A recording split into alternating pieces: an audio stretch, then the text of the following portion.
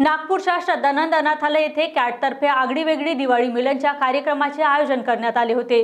कार्यक्रमादरम्यान मुलांच्या मनोरंजनाकरता विविध कार्यक्रमाचे आयोजन केले गेले होते. मुलांनी स्वतःला वेगळं न समजता समाजाचा घटक समजावं याकरता प्रत्येक वर्षी कॅटकडून दिवाळी मिलनचे आयोजन केले जाते. असे श्रद्धानंद अनाथालयाचे व्यवस्थापक आणि कॅटचे राष्ट्रीय अध्यक्ष बी सी भारतीय यांनी सांगितले. बघूया या मुलांसोबत आगडी वेगळी दिवाळी.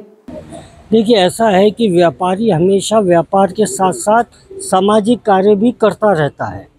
हम लोग हर साल दिवाली मिलन आपस में भाईचारे के साथ साथ ये अनाथालय की बच्चियों के साथ गीत, संगीत और दिवाली मिलन, फटाका शो सब करते हैं, ताकि ये बच्चों को कहीं भी ऐसा न लगे कि ये समाज से डिस्कनेक्टेड है और हम सब एक परिवार है, ये मैसेज हम देना चाहते हैं। कैट की तरफ़ से हमेशा व्यापारियों के लिए व्यापारियों के हित के लिए हमेशा उपक्रम निभाए जाते हैं, क्या कहोगे? नहीं, यही एक उपक्रम ये मेरी बेटियाँ आगे चल के कोई व्यवसाय में आ जाए, इनको प्रेरणा मिले हमसे कि हम नौकरी नहीं करेंगे, हम भी व्यापार करेंगे। ये सारी चीज़ों को ध्यान में रख के इनसे हम बातचीत करते हैं और आम समाज को हम ये मैसेज देना चाहते हैं कि व्यापारी समाज का एक बहुत महत्वपूर्ण घटक है। और जैसे आप है वैसे हमें पैसा बीच में नहीं आता।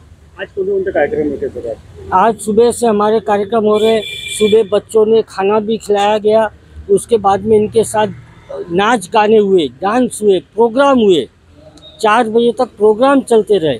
अब कपड़े बदल के यहाँ आए अब संगीत चलेगा। संगीत के बाद खाना चलेगा।